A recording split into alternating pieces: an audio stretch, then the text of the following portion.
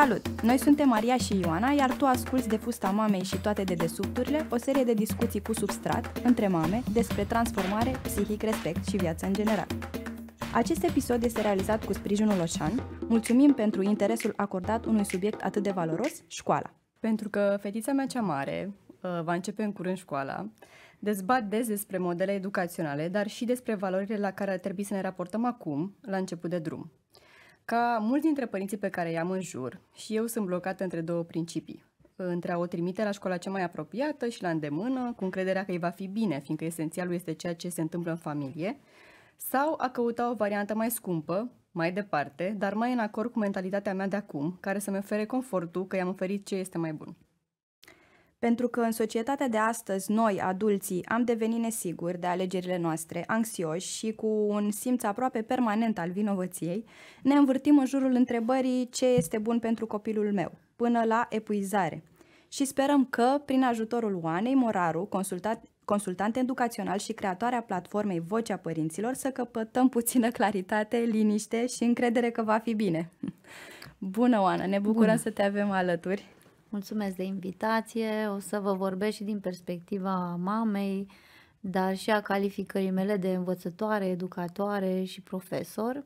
Uh-huh. Uh, și a multor generații pe care le-am avut uh, aceleași și în grădiniță până la liceu, că e foarte interesant să vezi uh, cum același copil uh, crește ce îi se potrivește, care sunt momentele critice în viața lui una e să vezi uh, propriul copil odată, într-un da. moment al timpului și alta e să vezi uh, la capătul firului ce s-a întâmplat cu un destin, cu o Și câte, câte s-au schimbat pe parcurs, da. că probabil da. că... Și ce a contat, da, ca să nu mai fie atât de anxios, că unele lucruri poate nu merg bine, dar n-au atât de mare impact pe devenirea lor, altele par uh, mărunte și au mare da.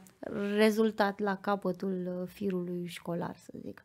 Și dintre lucrurile astea, că te iau, te, te iau direct, că mi-a plăcut foarte mult ce ai spus, că într-adevăr mi se pare că de multe ori ne consumăm pe niște detalii sau punem accent pe niște lucruri care poate nu sunt atât da, de importante. Da, da cred și... că de aici vine experiența mea, dincolo de partea de citit și de catedră, e că prin natura școlilor în care am lucrat sau pe care le-am construit, am avut șansa să văd uh, aceleași generații de copii trecând uh, prin tot sistemul, cunoscându-le familiile pe parcursul a 10-12 ani. Uh-huh. Am făcut asta cu multe generații, de la grădiniță până la cel puțin clasa 10 În calitate de... Co- de... Uh, director de școală, dar și uh, eu sunt director cu norma, acum manager în școala mea de atâta vreme a noastră, uh-huh. că nu e mai mea. Uh, trăiești cu aceiași copii în școală și îi vezi da. crescând și știi la un moment dat ce are impact și cunoști foarte clar lucrurile asupra cărora chiar nu trebuie să te consumi pentru că se mhm. reglează din mers. Exact asta vrem să aflăm și noi astăzi. Care sunt cele pe care nu trebuie să ne, da, să ne consumăm, adică cele, da. Nu, întâi trebuie să avem foarte limpede care opțiunea în România, pentru că nu are sens să aspirăm la lucruri pe care nu le avem aici și să pornim Corect. de la început cu frustrare, să vedem care sunt modelele de educație pe care le oferă România și aici e diferență mare între mediul urban mare, orașele universitare, orașele mici, zona rurală. Da. Nu are sens să vorbim din cărți, pentru că, în general, educația acum e făcută foarte personalizată în lume, cu mai, de exemplu, am fost odată într-un proiect într-un orășel de, din Spania de mărimea orășelului în care am deschis eu inițial școală în 2007 în Călăraș, unde existau vreo 12 variante educaționale, nu 12 instituții școlare, 12, 12 modele, modele. Wow. iar părintele, inclusiv părinți români imigranți, mm-hmm. că erau jumătate de școală din oameni muncitori din România veniți acolo, învățaseră să meargă de la o școală la alta și să caute sistemul care li se potrivește copiilor lor. Deci da. la noi de aici vine marea suferință și anxietatea părinților, fiindcă e una sistemică, nu avem opțiuni, nu avem variante, educația este personalizabilă. Da. Cu un comun pe care îl urmăresc toate școlile, coordonate de un minister, să zicem, și în Marea Britanie, și în Franța, și în Germania, și în, da. pe continent, mai în est, pe continent, dar cu variante mai personale. Noi nu avem România și de aici vine această teamă că nu știu ce să fac cu copilul meu. la fiindcă... învățământul de stat, că nu are mai multe și variante. de stat și privat. Noi nu avem multe variante, uh-huh. nici în privat. Avem multe școli private, dar modelele de educație promovate de școli particulare din centre mari, cum sunt Bucureștiul, Clujul, Iașul, sunt destul de stereotipe. Uh-huh. N-am reușit nici în mediul privat, care s-a dezvoltat de vreo două decenii în România, da. să mergem așa fiecare dintre noi, vorbesc la noi, fiindcă și eu sunt în mediul privat, pe direcții foarte uh, curajoase. Da? da? Ce se poate personaliza mai exact? Că mi-ar plăcea să dăm așa un cadru foarte pragmatic. Da. De exemplu, există o tipologie de copii pe care o vezi din grădiniță, care sunt uh, pe un tip de cunoaștere sau vor merge pe un tip de cunoaștere și dezvoltare academică mai hands-on, mai practică, mai pragmatică, cu nevoie de mare de mișcare, de construcție, de acțiune. Și există școli care merg pe filozofia asta uh, a predării uh-huh. și învățării uh, mult mai apropiate de particularitățile fiecărui copil, nu? Cu customizarea asta, dar pentru o înțelegere care trebuie să se bazeze pe mișcare și acțiune, da? Că da. copii care nu li se potrivesc mediile teoretice, uh, abstracte, uh, cu materie, să zicem, uh, digerabilă la un ritm uh, mai alert. Da. Dar există și copii vizibili încă de la 5-6 ani din grădință cărora li se potrivesc aceste medii academice mai, uh, să zicem așa, în ritm alert și abstracte. Sau există copii care au talente mari în zona practic, artistică. Da, da, creativi. În da. România ai văzut, dacă te intri pe zona artistică de la clasa 5-6, partea academică scade. Nu, există școli în lume care le îmbină pe amândouă. Da. Adică inclusiv dacă ai învăța matematică, pentru că trebuie să înveți chestia asta, indiferent de sistemul în care ești, se face tot prin prisma valențelor acestea Valențele. specifice. Să zicem că sunt uh-huh. școli, să zicem, mai practice, pragmatice, mai hands-on și școli mai teoretice și de asta, a, a, ăștia sunt cei doi poli. Uh-huh. Da. Um, în România mai există o dificultate pentru părinții români creată de felul în care e gândită programa da. Pentru că ea, ea e bine, programa e bine scrisă, nu, nu e neapărat aglomerată. Nu e bine gândită pe ciclurile de dezvoltare psihologică da. a copiilor. Da. Uh, e multă materie de la 5 cu foarte multe noțiuni pe un creier care încă nu poate să abstractizeze Uh-huh. Și de aici se creează un, un, uh, un haos, un gol așa între cum ai lăsat copilul la sfârșitul clasei a patra și cum îl preiau copii, profesorii și ce așteptări au la a cincea. Și din uh, video ăsta creat între ce poate un copil și ce propune programa și ce înțeleg profesorii de gimnaziu că poate copilul, că da. ei nu înțeleg și au așteptări pe nivelul programei, s-a creat cultura asta a meditațiilor, a ajutorului și s-a creat frica părintelui și panica că dacă nu-l ajut foarte de mic printr-un sistem alternativ de meditații, el nu va face față acestui sistem românesc Uh-huh. Uh, da? Și deci spui că asta multe. e din cauza vidului între de trecere. Asta e unul, vidul de trecere între uh-huh. a patra și a cincea, care e foarte mare, aproape sunt două clase, trebuie să sară copii uh-huh. într-o vară, deci da. nu e bine gândită wow. programa pe asta. Uh-huh. Și mai este un vid de trecere de la grădiniță la clasele pregătitoare sau mai s-a mai uh, relaxată gaura asta, da, între cum da. la grădiniță prin introducerea clasei pregătitoare, care a fost o idee bună. Da, clasa 0. Uh, clasa 0. Da. Uh, dar se pune puțin accent pe educația preșcolară în România, care a luat avânt peste tot în lume, pentru că tot ce înseamnă capacitate de concentrare, focus, mm-hmm. da? Mhm. abilitate de a sta în echilibru, de a finaliza acolo, se, se cam formează până la 5-6 ani în copii. Mm. Dacă intră la clasele și primare de la ce cu dificultăți, începe, să zicem? Începe de la 0 ani. Da. Tot ce ține Acum, în România, statistic, 4 din 10 copii au probleme serioase de tip nevoi speciale pe educație. Așa arată statistica românească. Sunt din ce în ce mai mulți. Asta pentru că noi nu avem intervenție specializată și foarte atentă cu investiție mare în educația preșcolară. 0-6 ani, sunt descoperiri în ultimii 10 ani în științele cognitive, psihopedagogice și de 6 ani sunt o, e o perioadă de piatră de hotar în dezvoltarea creierului copilului și noi nu investim suficient atunci în formarea educatorilor. Da, Nici părinții nu sunt foarte conștienți, avem încă cultura asta, lasă că e mic se face mare, dar el când se face mare, deja, deja are la pregătitoare, vine cu niște lucruri care erau corectabile din grădiniță când e neuroplasticitate mare, pe atenție, autocontrol, răbdare, focus. Și bietul copil nu are nicio vină de unde vin problemele astea și că nu s-a lucrat suficient și cade pe mâna învățătoarelor care, o, o parte din ele, din sistemul de stat și din sistemul privat nu contează, că nu e mare diferență decât din alte puncte de vedere ale etosului, ale da, apropierii de copii, care trebuie să supraviețuiască profesional în ochii părinților, să fie bune, bune da. în sensul să lucreze mult, alert, să se scrie mult în caiete. Altfel nu sunt cotate ca învățătoare bune și nu sunt căutate, nu primesc posturi la școli bune, da, care au susținere financiară. Da. Și atunci ele împing în copii ce foarte mult.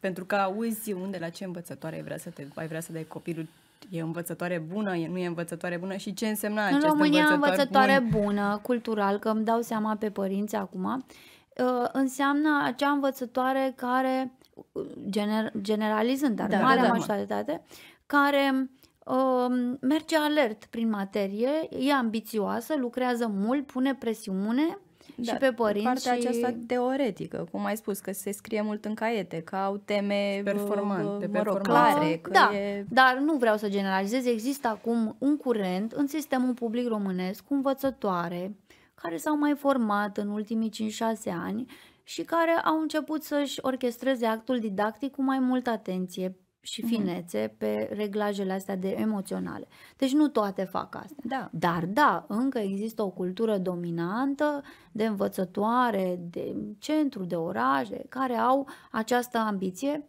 și deși sunt bune, maternale, sunt oameni, tot pun mai multă presiune decât uh, poate media aceea sănătoasă a clasei să susțină, fără să iasă din școală cu complexe de inferioritate sau uh, frustrare, că eu totuși am învățat foarte de mică prost și că nu pot. Cultura occidentală în școală, uh, pe care am verificat-o prin diverse, adică cu care m-am întâlnit în diverse proiecte și acum prin experiența copilului meu, pune și a presiune și uneori stupidă și pe punctaje și pe rezultatele copiilor la liceu, la mm. gimnaziu, dar au în același timp foarte bine stabilizat uh, cum ajuți copilul să crească de la 5 la 6, de la 6 la 7, de la foarte pro- bine procedurat, mm-hmm în sistemele lor educaționale cum se face creșterea asta. Și ce este specific sistemelor de educație mai performante e că, indiferent cât talent ai tu la catedră ca profesor, poate n-ai deloc și n-ai o chemare, sunt atât de bine scrise programele și procedurile psihopedagogice mm-hmm. încât tot produci efect da. pe copii. Da. E un mai, mai uniformă experiența. Da, e mult mai, nu, sunt proceduri da. ca într-o companie, da? exact. da? Și o companie care și are proceduri. profesor da. ce are de făcut, e, învățător, Nu mă rog. știe, e aproape are scenariu, da? da? Și da. este da. și mai evaluat cu responsabilitate profesională la sfârșitul, mm-hmm. nu poate. E, la noi în România, pe lângă toate astea, cultura estică, ambiția asta oarecum de validare, a părinților de să fie de mult, să învețe da, copilul da. de mic, pentru că avem fricile astea. Noi avem ca nație și toate țările din Europa de Est un complex de inferioritate. Suntem mai mici, mai mai vecini de la țară ai da. și atunci avem oricum un reflex de a pompa în copii mai mult ca să părem mai uh, da. Dar avem un bazin de inteligență extraordinar. Uh, uh, și da. cu asta închei. Uh, profesorii noștri nu sunt evaluați. Că ei nu au accountability, responsabilitate la sfârșitul clasei a șasea. Un profesor de fizică, de pildă, ce efecte a produs cu clasa? Uh-huh. Nu se vede în cultura altor școli există acest efect cuantificabil pe care îl resimte și părintele și care creează imaginea unei școli bune. Noi nu avem. Dar, dar noi, totul lăsat la de... talentul. Nu, nu, nu. De evaluare nu avem, există. dar e formal și pe hârtie și legat da. de grade didactice, de portofoliu, de hârtii. Și atunci evaluarea s-a dus în, pe gura târgului. Da. Ce spune mămica la colțul străzii despre învățătoarea ce aceea? pe grupuri, nu, ce nu știu ce. Nu este da. referitoare la un sistem de performanță cerut de unitar așa de educația da. în lume. Cum ai spus tu, ca o, să funcționeze ca o companie care are Da, niște da, obiective da. clare, obiective care și ele sunt bazate pe niște studii și niște Care era date fer în concrete. orice sucursală, pentru că asta e un alt Da. da. lucru. Îți recunosc că mi-era teamă de discuția asta puțin, pentru că știu că știu uh, că tu împărtășești această grijă față de sistemul de învățământ de la noi și de pregătirea profesorilor în general. Și sunt foarte multe lacune și cu toate că aș vrea să aud că o să fie bine, mi-era teamă că o să aud că nu, că totuși Nu, e... a, astea le-am explicat nu ca să dăm o turnură negativă, Nu, ci nu, ca nu. să fim înțelegători cu anxietatea noastră. De ce suntem noi așa agitați? Fiindcă nu suntem în stare să găsim o școală bună. Eu ca mamă nu m-am, nu m-am descurcat să găsesc o învățătoare sau eu de fapt am niște apăsări sistemice, da? Nu Da. știu, eu nu știu ca mamă, nu sunt informată cam cum, ar tre- cum arată learning curve, cum arată deci creșterea, da? Curba Da. de creștere a unui copil de 6 ani, de 7 ani, de 8 ani, de 9 ani, da? Tu nu știi profilul, nu știi fata ta sau cine intră de la anul, la sfârșitul anului la aceste uiți sau în timpul Da. anului. Nu Nu, știi, nu, ți-a chiar nu dat știu. nimeni aceste repere. Când ai aceste repere, sigur că ai anxietate. Doi, știi că trăim și într-o țară unde oricâte diplome ai avea și peste tot de fapt în lume, dar tu n-ai asigurat destinul copilului tău. Da? Și atunci Da. ce faci? Pompezi din ce în ce mai multe cluburi, ateliere, meditații, ca să fie bagajul plin. Nu, că nu știi. Ai pe un platou din Da. care să aleagă. Un platou, dar nu Da, e normal, nu e pentru normal, că da. psihicul copilului are nevoie în anumite stadii de anumite lucruri, are nevoie de timp liber, de făcut nimic. Dar Da. tu ce faci? Lasă mama, îți spun cum era mama la țară, bunica, îți spun mama aici chiar dacă nu o să mănânci, că cine știe când o să ai nevoie. Da.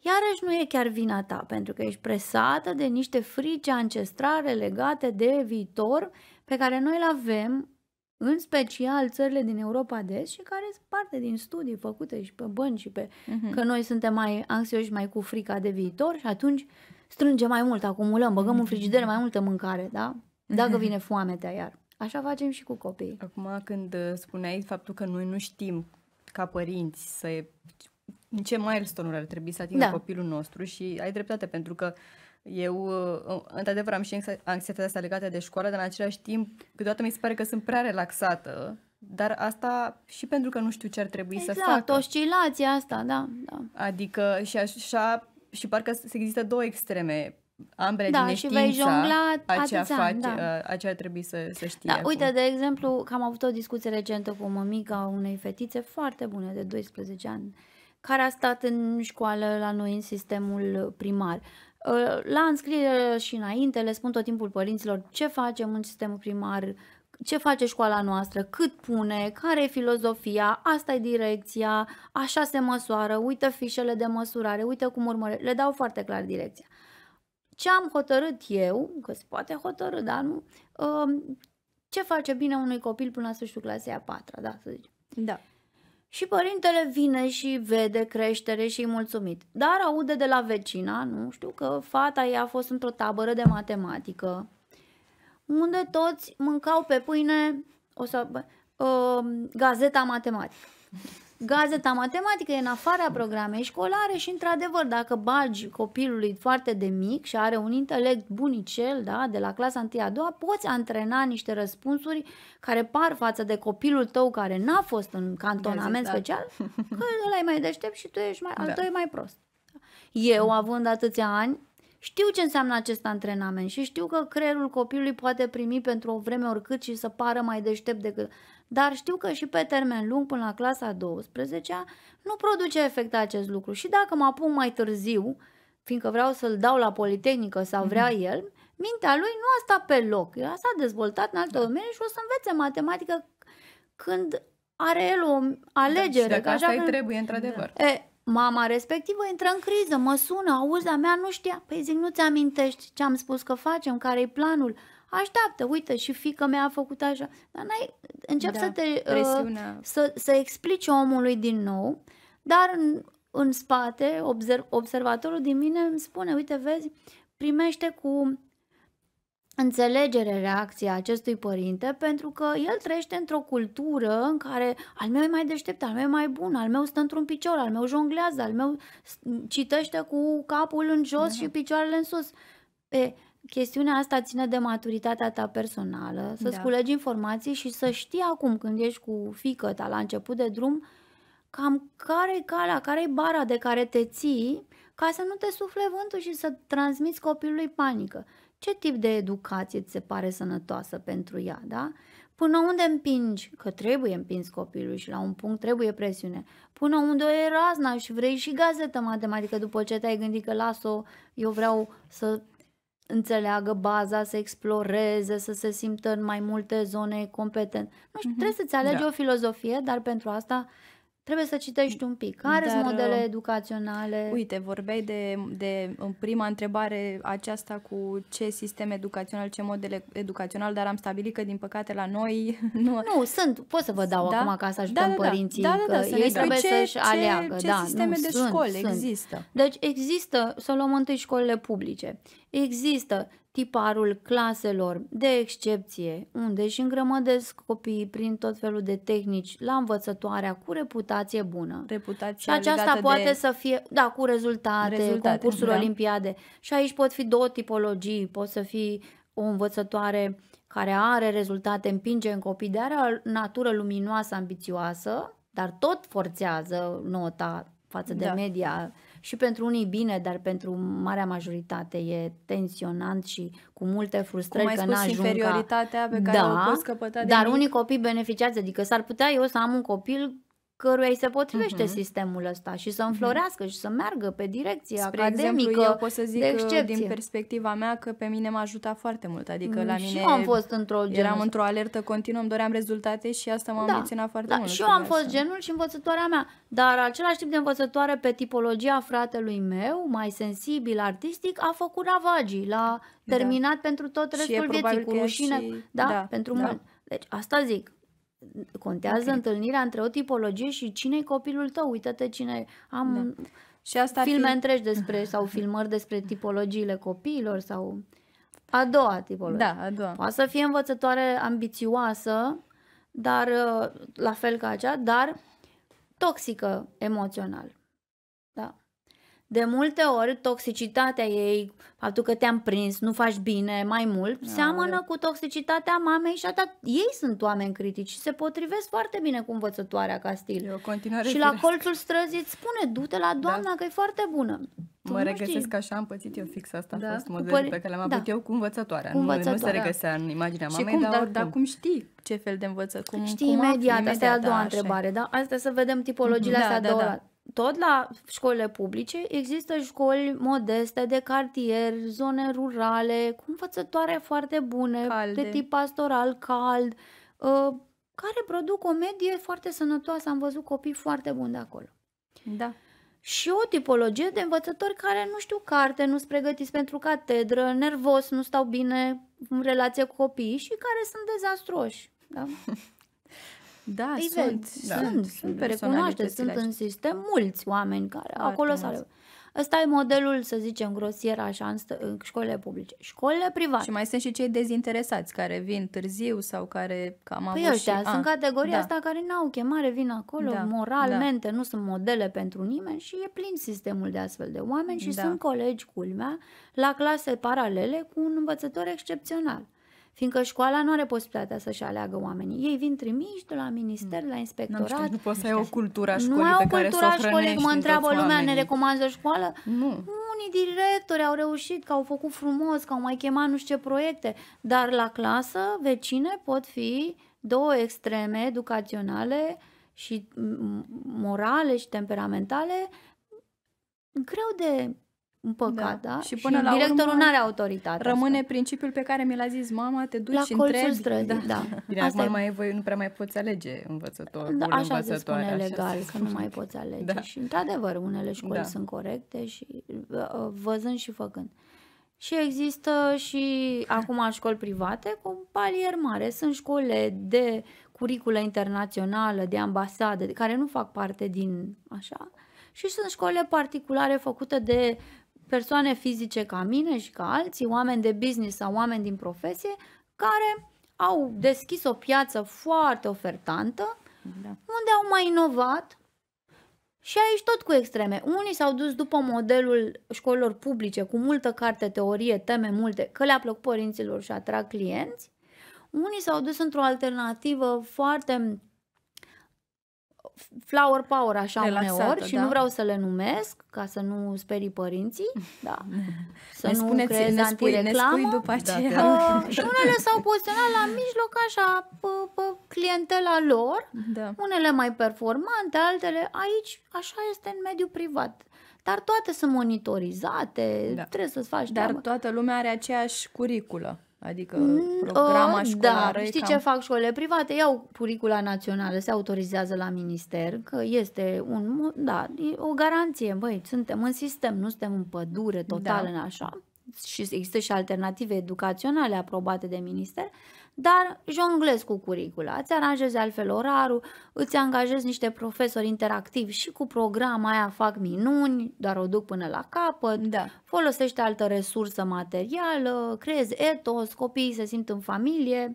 E, aici unii suntem mai de mult pe piață și ne ține mai mult de educație, indiferent de ce zic părinții, fără teama că îți pierzi clienții, alții sunt mai la început și se mai duc după clientelă și fac destul de multe compromisuri pe calitatea Da. actului didactic. Și de cele internaționale, că acestea sunt foarte populare, ele pe ce fel de... Adică Merg, merg pe... sistemul Cambridge Britanic, IGCSE-uri, pe IB, Adică fiecare uh, are uh, sistemul... recunoscute la nivel european, în Statele Unite, sunt niște sisteme foarte bine scrise, singurele viabile în momentul ăsta cu destule lacune, dar uh, care produc rezultate. Adică sunt rampe de lansare pentru cei care vor să facă un liceu în afară sau facultăți de aici care au, nu știu, sunt francize de-astea uh, internaționale, dar uh, produc rezultate pentru că sunt de, scrise de câteva decenii, există cercetare, reactualizare și accountability, responsabilitate profesională. Dar de ce există prejudecata asta că se face mai puțină carte?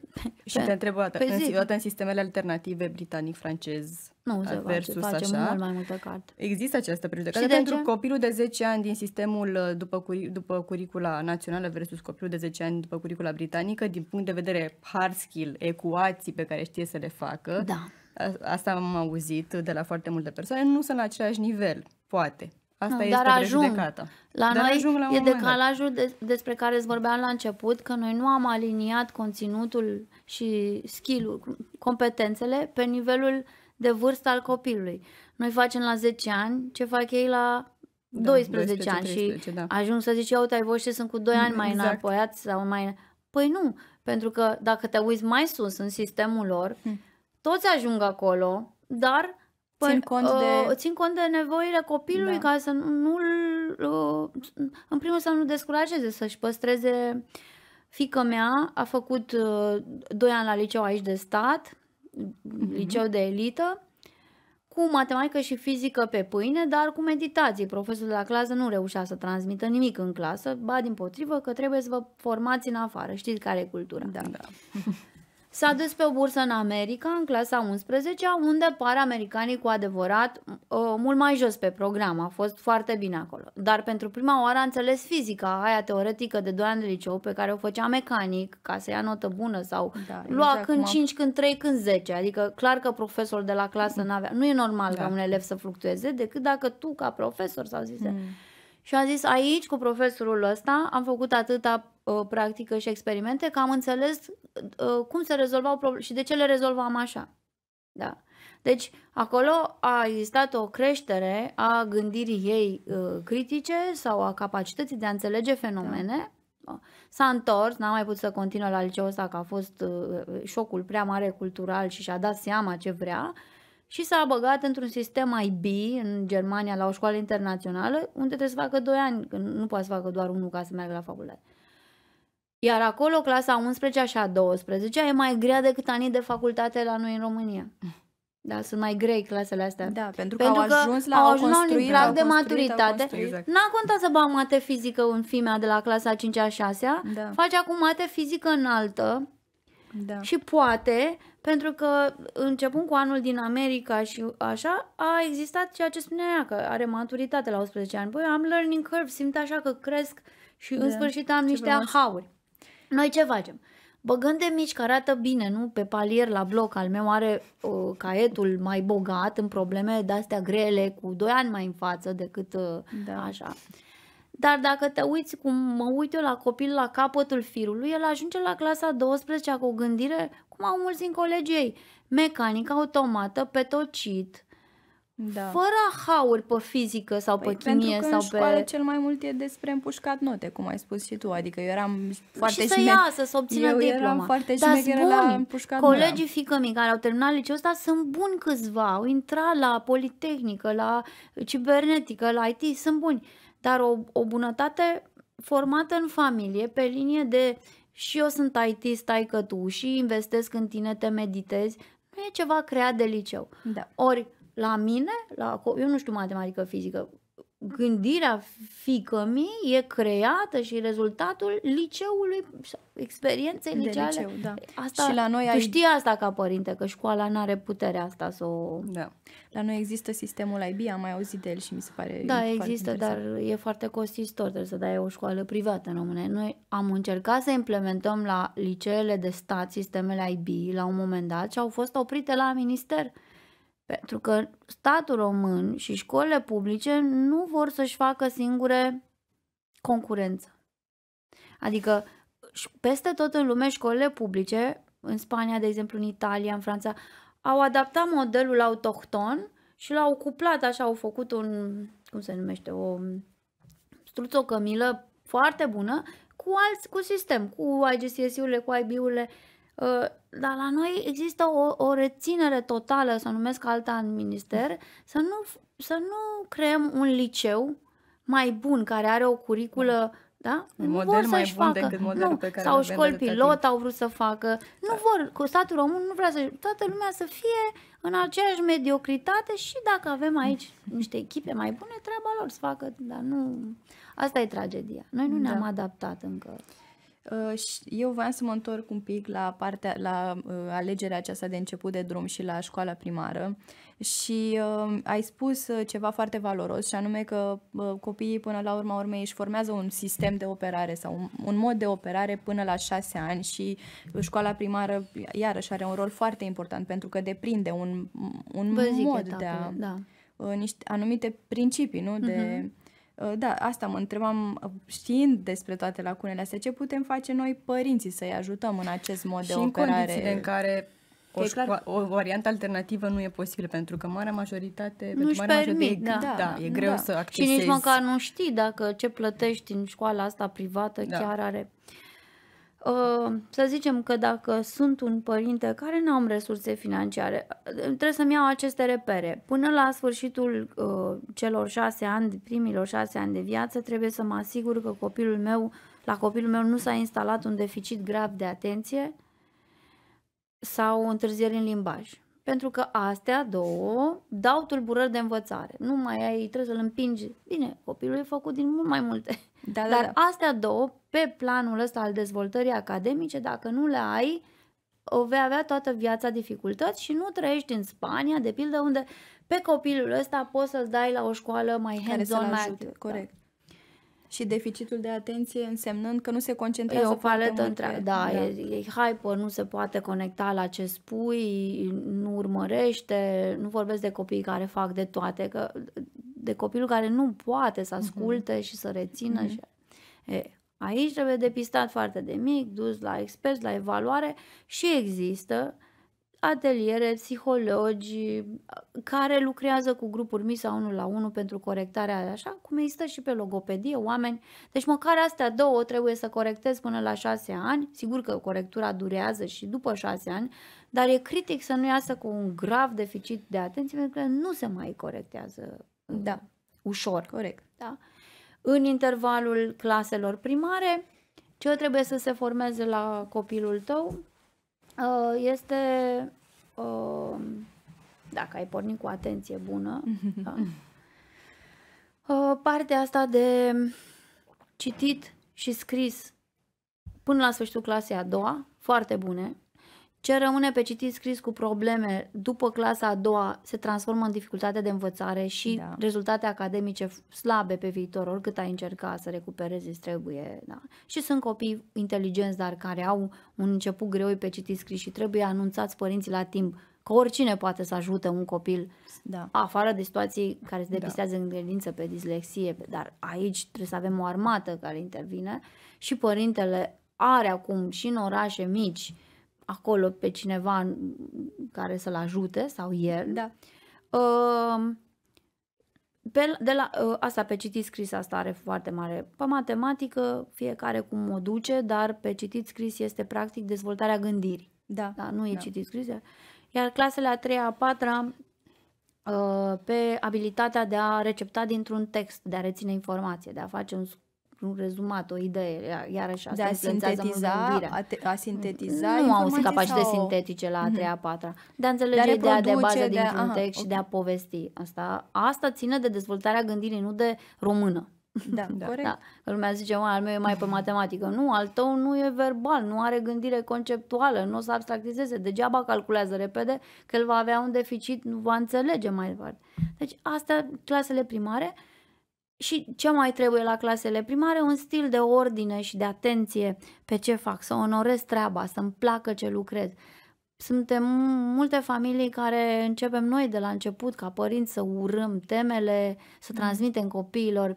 Nu, trebuie să stai lângă copil cât e micuț acum, să-ți placă ție temele, să-ți placă să-l ajuți, să-i dai cât sprijin are nevoie până do- dobândește autonomie, nu să-i zici de la început, tu sunt temele tale, fă singur. Chiar dacă suntem relax, mai relaxați și nu atât de încrâncenați cu partea asta de... Tu trebuie să o ajuți Tot să stai trebuie lângă să ea. existe această disciplină și Da, această, nu știu, da. demnitate Și de a ce? procesului. Că e până la urmă un pentru că joc ea și- învață sau el învață acum cum să-și onoreze treaba Mhm. foarte mult. Acum învață de la părinți, de la învățătoare cât de Dar onorant e să pui interes Mie în îmi ceea plăcea ce foarte mult și, uh, dar și pentru că, nu știu, era așa tot un ritual cu, Da, cu da. stilourile E, asta mele, exact, cu... exact, Ah, exact. Iubeam, Dădeai iubeam așa să-mi lumina. fac, să-mi Da, fac curat tu ai în putut cameră să-ți și faci să... singură, poate să te-a ajutat Da, și cred că l-am făcut și, singur. bă, Dar în nu Nu context. face nimeni singur. Cum Ai mai- influențe da, de am dinainte. avut influențe de la mama mea care Da. a fost așa și Da. a plăcut cartea și mi-a indus sentimentul, dar nu pot să zic asta lângă mine, dar mi-a indus, mi-a Da. indus și mi-a vorbit cu multă bucurie mereu despre asta fără nicio corvoadă, Nu fără știu, nicio... dacă tai că Dar mi nu știu stătea să dacă- mai lungim o propoziție în caiet că era prea scurtă și dacă el nu o făcea cu hai că e prea scurt, ai mai lungește și el făcea hai cum o facem pe asta mai lungă, Da. hai să o fac. Mamă, și el își freca mâinile de bucurie că arată mai lungă în caiet. Dincolo de propoziție de o naibii, mie mi se imprima bucuria asta și pasiunea de a face lucrurile, de a le finisa, de a le face mai bine. Da, Atunci se fură în copilărie asta 1-4. Da. Că, spui, că spui de tată și eu mi-aduc aminte de bucuria lui când găseam o altă rezolvare la o problemă. El era Exact, cu mamă, exact, deci era exact. pentru noi, stăteam, eu și de atunci stăteam uh, nopți între să găsesc altă soluție la geometrie sau altă... Da, aici e cu duș și întors pentru că era foarte multă laudă pe ce producea mintea ta, creierul tău și Mm. suntem generații Da. întregi dependenți de imaginea asta productivă a minții noastre. Și când nu ne iese ceva bine sau ne critică cineva, ne facem praf de supărare. sau... Apropo, când nu, nu le iese lor, că sunt atâția copii care nu au această acest dar, nu sunt at- sunt dezinteresați, sunt dezinteresați sau uh, așa îi numim noi, că sunt dezinteresați. Ce facem când nu le iese, când vedem cum îi... Aici sunt două categorii. Dezinteresul sau o minte care are nevoie să-i se mai repete, să lucrezi cu el, e mai slow, mai lent. Vezi când sunt mici, la clasele 1-4, vezi foarte clar unde este ceea ce numești tu dezinteres, adică copilul nu-și mai bate capul Mhm.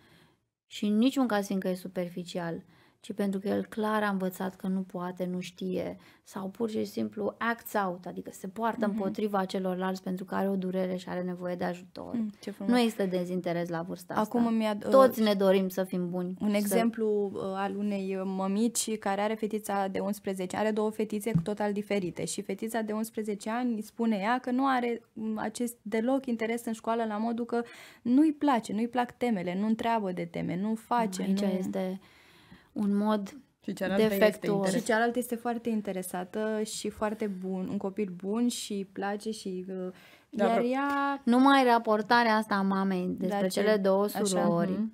ea e bună, ea nu, arată că acolo e o problemă de relație și de motivație fă- pusă greșit de mami și probabil că una dintre fete s-a dezinteresat și pe fondul ăsta de contrast, sora e mai bună, eu nu, dar și, într-adevăr, copiii își pierd interesul când nivelul lor de înțelegere e aici, ăsta e natural dezvoltat și tu ridici tacheta prea mult. În învățare, ca să se producă satisfacție și creștere intelectuală, trebuie să respecti zona proximei.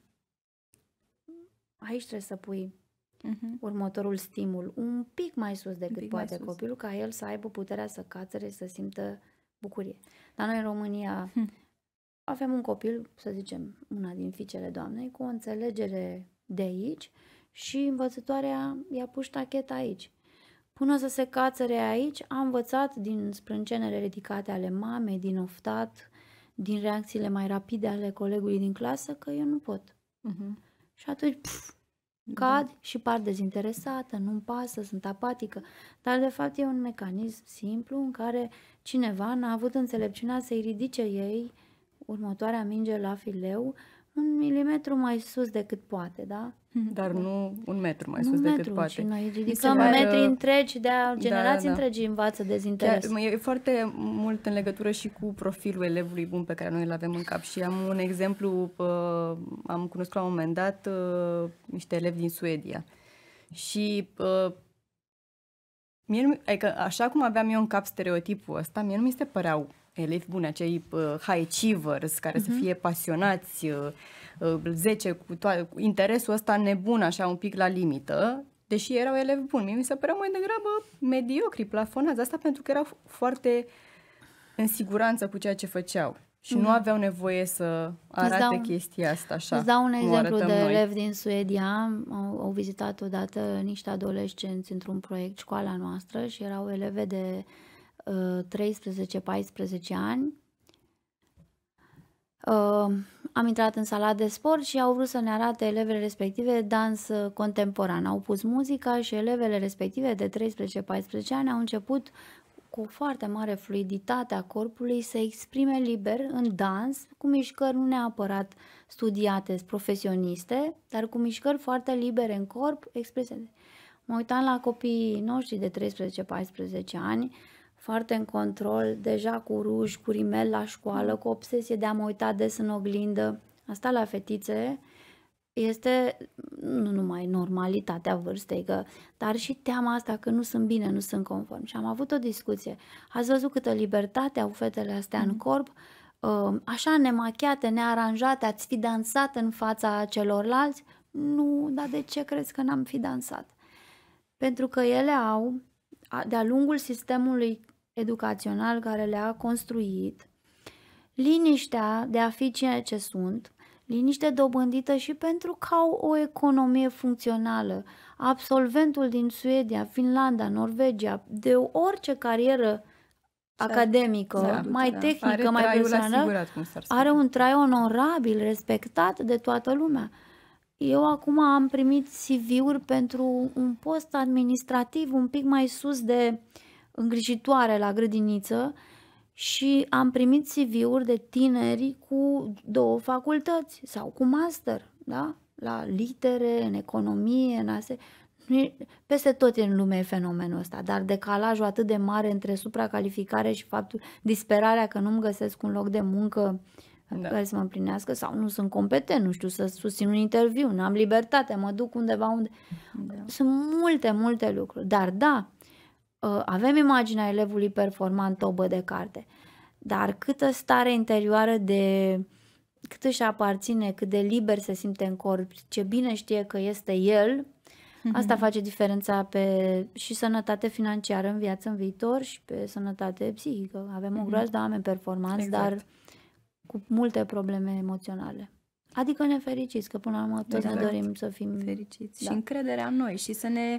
Cred că da, astea sunt elementele cheie și pentru noi adulții, să avem încredere în noi, să ne descoperim. Și dacă deci, noi de mici nu știm cine suntem, ce ne place... Principiul ăsta e, mă uit cine e copilul meu, trag de el, dar nu trag de, de aici, de la înălțimea asta.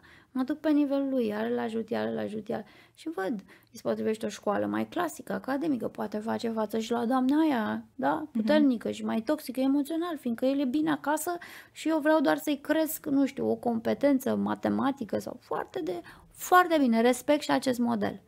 Dar nu este funcțional pentru o țară. Da? Trebuie să fim conștienți. Singura regulă de care ne putem ține este asta, să văd cine e copilul meu și cum îi cresc. Pentru că de aici vine fericirea, din sentimentele astea de împlinire, că eu pot. Nu da. din gaura asta care se creează între mintea mea atât produce și par un prost. Știi că fimea și acum după trei ani de experiență în afară, când o laudă un profesor foarte puternic pe un săpă, 20, uite că m-a lăudat și doamna asta nouă, a zis. Adică încă are mhm. neîncrederea culturală, istorică, că da. poate totuși nu sunt suficient de bun, poate sunt un impostor. O avem da, în, toți. Da, și în educație. mai departe, adică da. așa cum a fost și Maria, am fost și eu, adică am fost un elev bun, așa cum avem standardul ăsta, dar îmi dau seama că am dus mai departe nevoia asta de validare de laudă, chiar și acum când mă simt foarte încrezătoare, minte este atât de imprimat da, da, în, în modul în care gândesc și în care mă comport, încât e foarte greu să mă separ, chiar cu tot ce știu acum mai mult despre mine.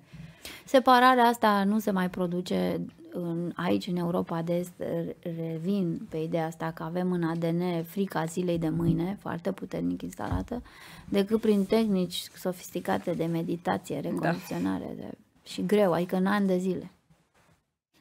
Doar că dacă faci tu pasul ca mamă, un pic pe plan mai conștient, să nu te apuce nebunia când te sună vecina că s-a dus la zi, tabăra de matematică și mănâncă.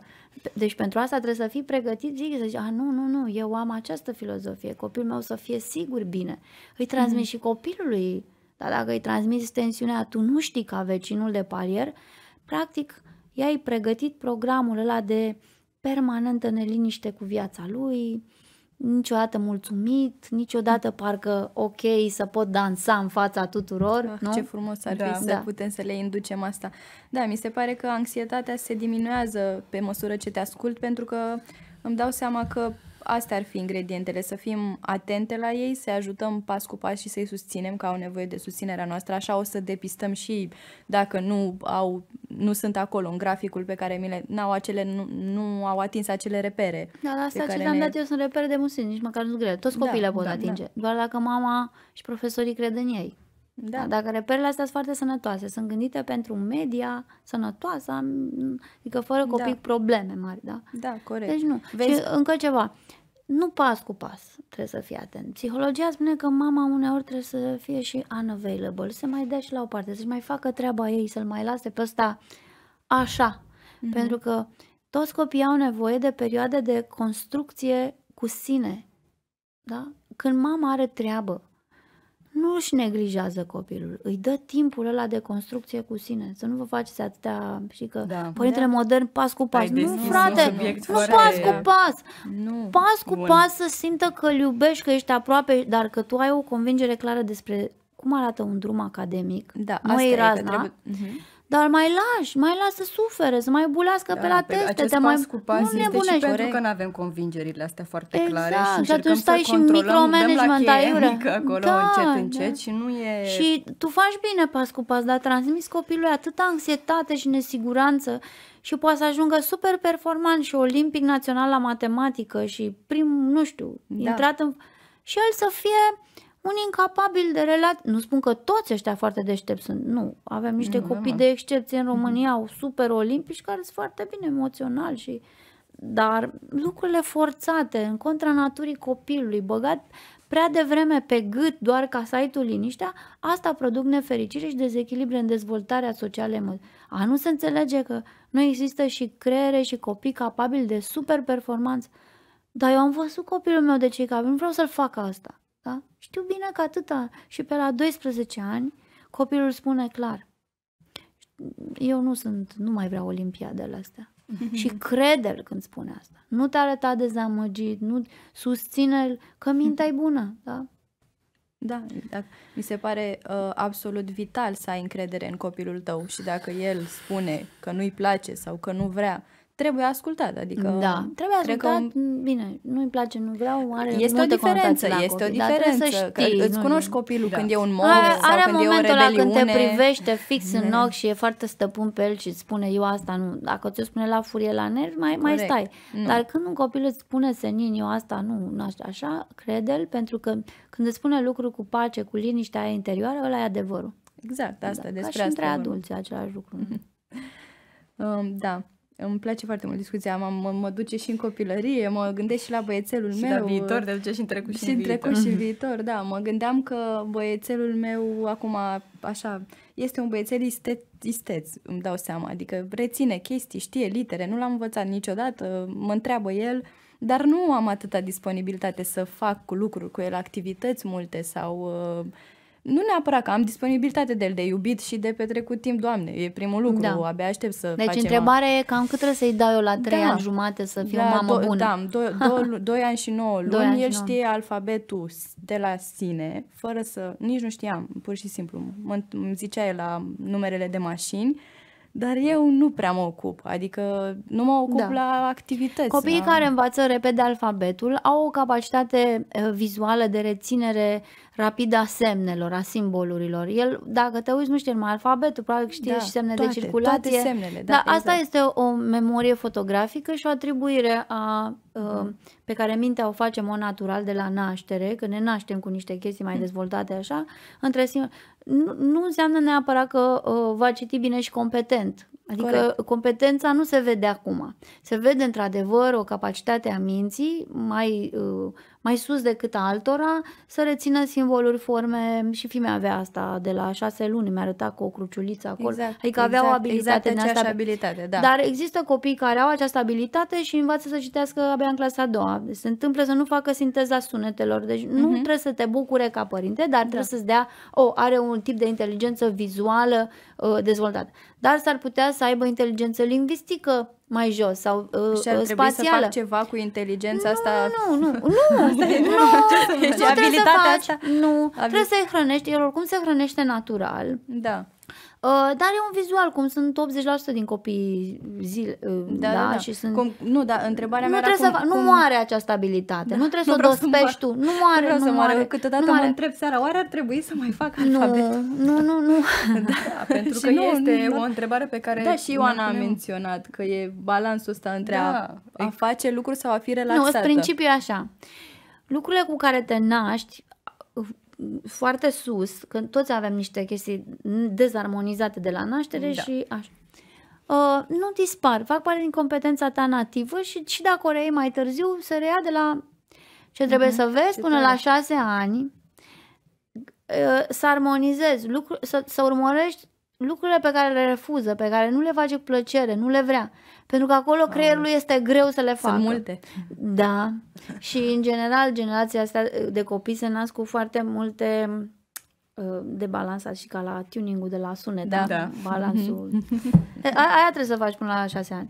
Și un educator profesionist asta vede, după o săptămână de evaluare sau chiar mai puțin, hopa, care sunt chestiunile în care trebuie eu să intervin, încet, nu știu, refuză să deseneze, nu-i Da. place să... Da, e de vreme la 2 ani, la 3 ani. Ah, ok. Sigur, nu, dar nu vreau să te alertez. Da, da, da. Nu, Ăștia dar nu-i care place văd să foarte picteze- bine. picteze, da, să pentru nu- că ei văd 3D, văd formele, văd, dar au dificultate și poate să fie și semn de dislexie. Da, Asta da, da. că rețin literele cu ușurință ca pe obiecte, Da. nu te alertezi. Nu, da. nu, nu, nu, nu, dar mi se pare foarte trebuie interesant colaborat că de cu altceva. multe ori, de multe ori abilitatea este alta decât ne imaginăm noi și e, e Construiește bine mult, să face știm. Lego și așa? Constru- Nu, nu, Lego, nu. construiește puzzle-uri sau așa? Încă nu. Nu, nu e cu puzzle-uri. Deloc, iarăși. Uite, ce nu-i Da. place cu puzzle-ul, tu nu forța, nu-ți face un proiect, oh, ce mamă rea că ne-am făcut azi puzzle, nu. Dar adu-i și fă tu singură pe covor, nu știu, când te uiți la un film. Mhm. Da?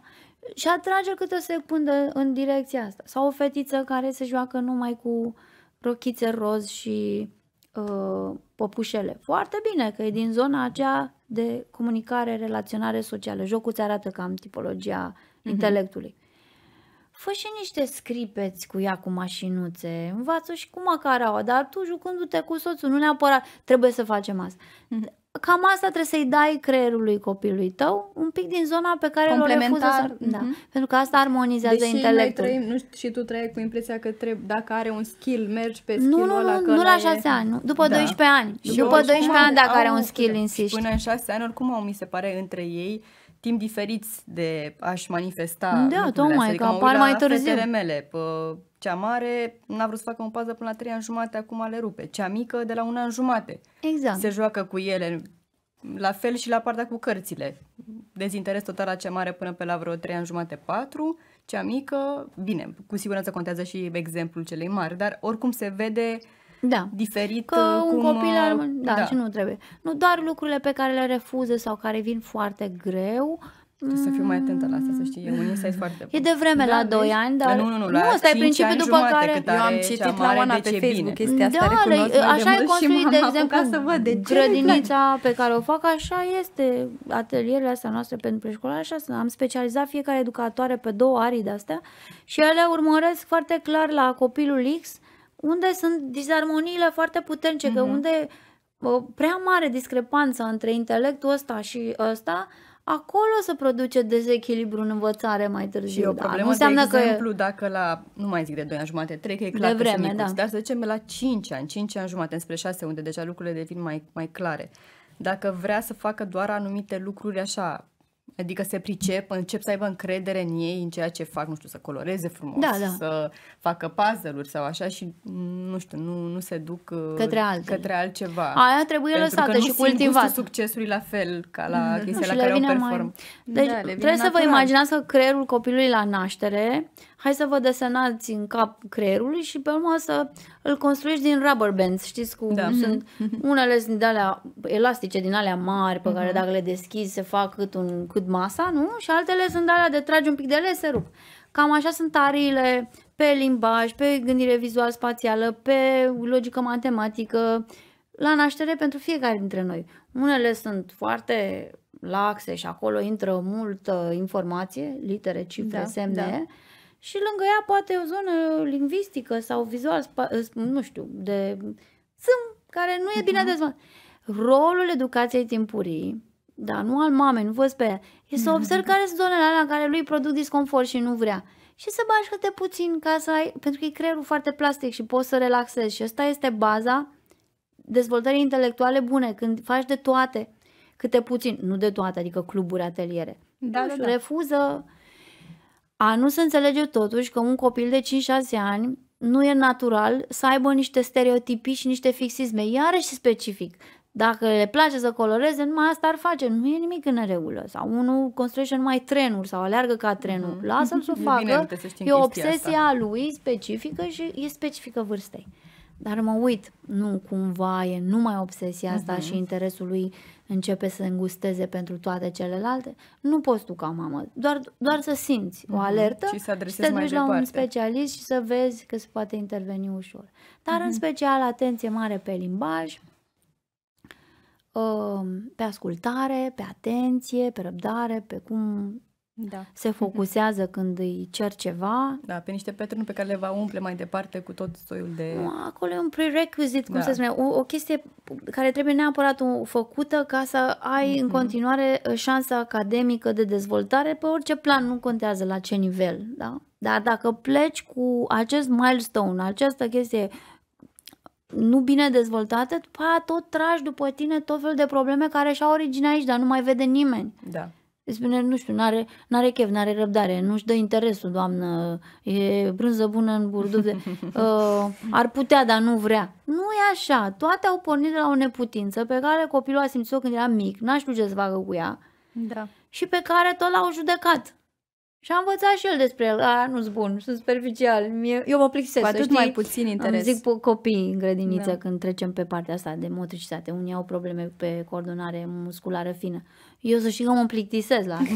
Zic, nu e mai plictis, e că îți crește mușchiul ăla al mâinii și simți așa disconfort, dar e un, o, o durere bună. Tu, de fapt, te, te dezvolți. Când simți plictis, e de fapt că tu te dezvolți, îți crești.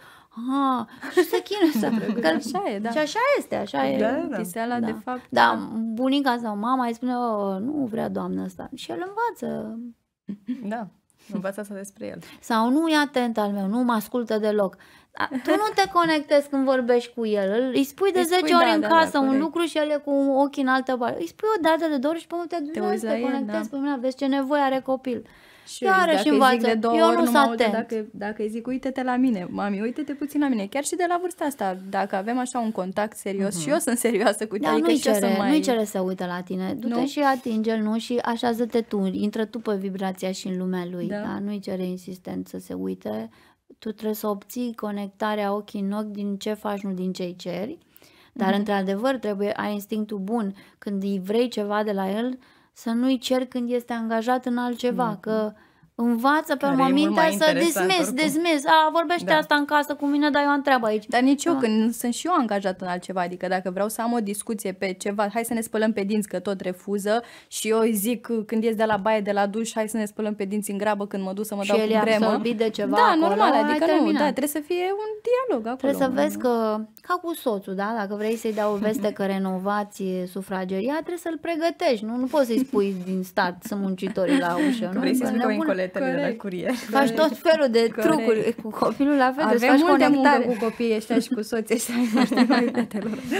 Da, nu, dar noi adulți între noi facem niște lucruri de asta de conectare până a da o veste sau un... Uh, Corect. Așa e. Și pe copii nu-i tratăm cu același discernământ. Nu putem face asta pe că trebuie să facă spălatul pe dinți, că i-am spus eu. Da, sau ieșim afară și luăm pe sus, dar nu știe și el că astăzi avea un plan. Da, da, pe, tine, un plan, pe tine ar putea oricine stea pe da, sus. Nu. nu. Eu, și eu zic asta da. mereu, doar lasă-l pace noi... să-și termine joaca, că doar nu luăm pe sus acum în mașină să mergem. Aia e, are Noi și tratăm de multe ori copiii ca pe cetățeni de mâna a doua, așa. Uh-huh. E că la e mic și trebuie să facă, că am spus eu, că sunt Cred că nici măcar nu conștientizăm că ei... Suntem așa de mult prinși în ritmul nostru al vieții, în ce avem de făcut, în hai că... Bă, nu, e nevoia noastră mare de control, toți adulții au nevoie și când vezi așa o ființă mai mică decât tine, simți că poți să o controlezi. Îți spune creierul asta, ancestral vorbind. E mai mic, poți să-l domini. Așa în... Trebuie să fim foarte atenți că nu ne putem domina copiii. Dar noi da. vrem pentru că e Nici n-ar trebui talent. să vrem, nu? Și cu cât un copil e mai... Păi nu, da, trebuie să lucrezi mult cu tine. cu cât ai un copil mai neascultător, cu atât e mai mare nevoia de control a mamei. Și cu cât e un copil care face mai multe trăznăi, cu atât mai mult e sigur că mama sau tata sunt prea abrupți, prea învinovățitori, ne în stare să facă calibrajul fin, nuanțat, emoțional. Știu că sună urât ca și cum aș nu știu, neînstare, adică voi nu ești un părinte bun. Părinți buni suntem cu toții, toți le asigurăm ce trebuie să facă un părinte, da? da. Apă, da. mâncare, haine, brațe, uh-huh. pupă. Dar trebuie să fii și un om evoluat, așa, spiritual, ca să crești un copil. Pentru că așa altfel este. îl domini, îl condiționezi. Și deci... ce e mai Mm, ciudat este că de multe ori sunt și în spatele unor intenții foarte bune, adică... Toți avem intenții bune. De asta și e foarte greu să-ți dai seama unde începe dominatul, unde se termină și unde de fapt e intenția bună de a-i oferi ce e mai bun, ce crezi tu că e mai bun. De aia nici nu trebuie să faci copii până nu lucrezi un pic cu tine. Eu știu că e biologic și e fericire mare, dar sunt foarte multe generații care preiau niște lucruri uh, care produc nefericire în jur. Acum știu că spun un lucru dur, dar cei mai buni psihologi, terapeuți și chiar de familie spun din ce în ce mai clar și în lume că înainte de a aduce pe lume un copil, uh, trebuie să lucrezi un pic uh, cu tine, da. să vezi care sunt uh, automatismele alea neconștientizate care se vor transmite așa ca un ser, o travă și în sufletul lui. Toți transmitem. Oricum, niciodată nu e târziu. Chiar dacă i-am da. făcut, putem începe să oh, da. Și, să și astăzi, la... dacă ai o mică, da. măruntă conștientizare, ea aerisește așa de bine spațiul din jur că copilul resimte imediat. Nu trebuie să ajungi da. la capătul nu. drumului. Nu, nu. nu. Trebuie să faci pasul astăzi. Nu e târziu, da, exact. Da. Și apropo de asta vine, puțin schimbând subiectul, uh, dar n-am cum să nu o zic, trebuie să o zic, văd în grupurile de mămici, mămici care țipă repetat la copii, știi, și celelalte mămici, da, mămică, lasă că ești obosită, lasă că ești bine, iar eu sunt un pic, nu mi se pare, adică dacă țipi în mod repetat la copil, înseamnă că nu ți-e bine, înseamnă că tu ai o rană nevindecată, înseamnă aici, că e un aici trigger. noi facem o confuzie, să zicem că sunt foarte rău, nu știu, n-am încotro decât să am reacția asta knee-jerk, da? Trebuie să țip, că nu, nu mă pot stăpâni nici nu mai aștept să nu mă judece sau mă judece. Am țipat. Eu cu mine trebuie să fiu blândă, adică să zic, păi, n-ai avut încotro, ăsta e starea tău de conștiință acum, pur și simplu ți-a venit reacția asta, n-ai avut cum să o controlezi. Știm cu toții că sunt situații în care nu pot.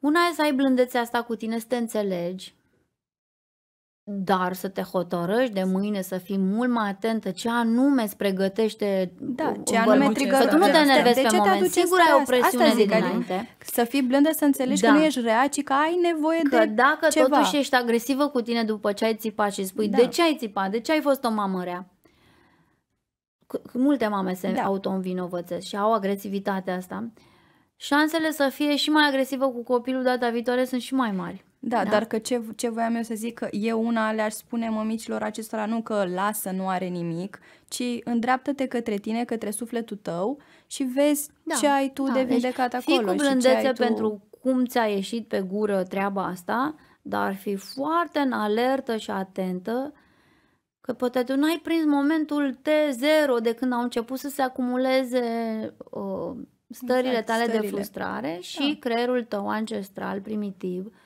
știe că ești o dihanie mai mare și el e o dihanie mai mică și poate fi controlată, dominată și asta a făcut reacție specie. extreme, da. Și ai o da. reacție uh, de nu, reptiliană nu? Uh-huh. La, la o realitate. Da. Și mai trebuie să știm că în momentul în care ai născut un copil, el are abilitatea de a uh, aduce o bombă în familie. Orice copil nu, nu repară relații, nu sudează, nu. Copiii deprogramează și aruncă în aer tot ce credeau părinții până acum că reprezintă mm. pentru ei control. Nu tot, dar lucrurile alea inconștiente pe care ei le-au pus sub preș.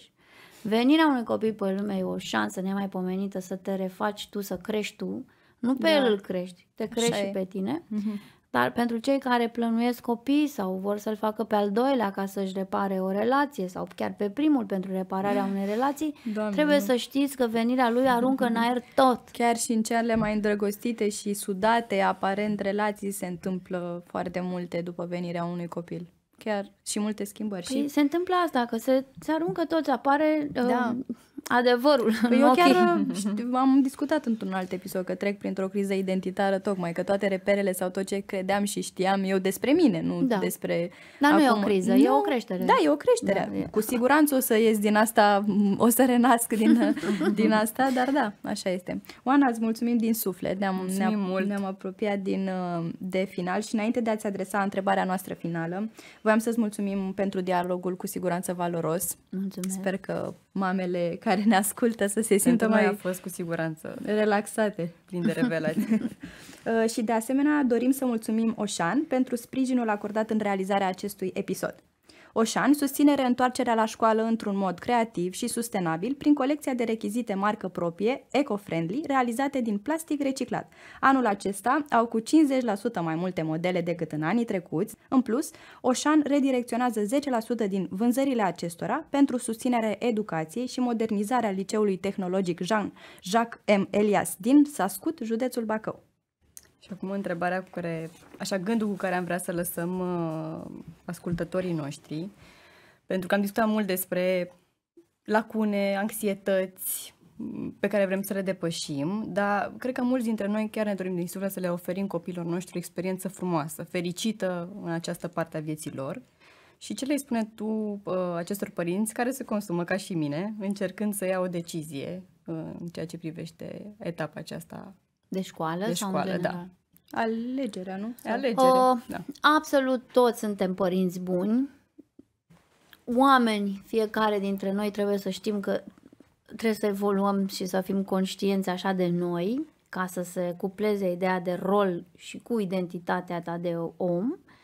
Iar pentru alegerea uh, școlii, pentru liniștea tuturor, Căutați uh, în cartier, în primul rând, în apropiere de casă, asta e foarte important să ai aproape lucrurile pentru copilul tău, deci asta este un criteriu foarte important peste tot în lume.